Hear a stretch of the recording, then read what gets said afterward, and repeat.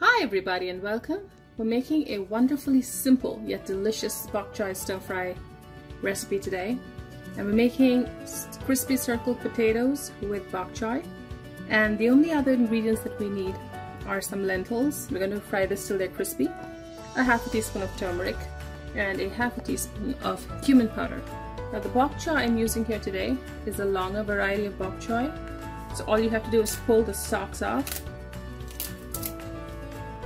and chop them up roughly. And when you come to this, just break off the node. Here I have two small potatoes that I have boiled and sliced. And we're going to start by frying these potatoes first so they're completely cooked. I have some oil that's heating on a pan. And we're going to add these potatoes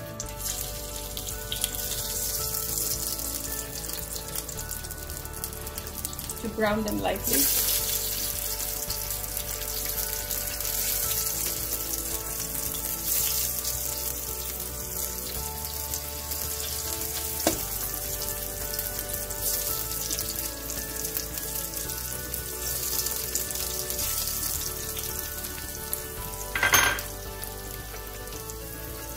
As the potatoes brown, I'm going to add the lentils and have that have those cook along with the potatoes. We're going to give it about a couple minutes for the potatoes to crisp before we flip them over. As the potatoes brown slightly, we're going to add the turmeric powder and cumin powder. As you can see, the lentils are crunchy now and the flame is down low. Flip the potatoes over. Bok choy is a Chinese cabbage and it's extremely tasty. So we can now add chopped bok choy leaves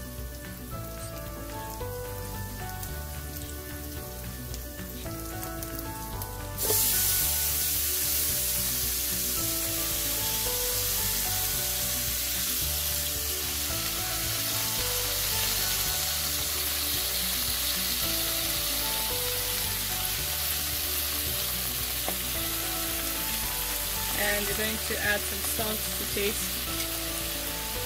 And cook it on medium flame stirring occasionally so as to not break up the potatoes.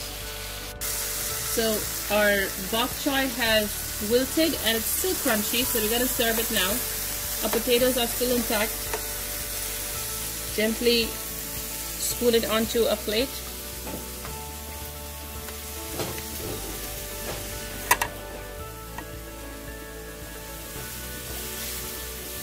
The lentils are crunchy, the potatoes have a nice crispy exterior to it, and the bok choy, uh, we've retained the crunch, so you not you don't have soggy bok choy.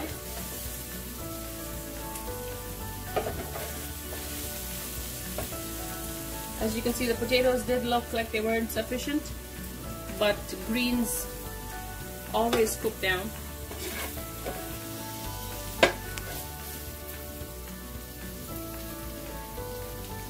And here you have it, a delicious bok choy stir fry with crispy sliced boiled potatoes. Enjoy!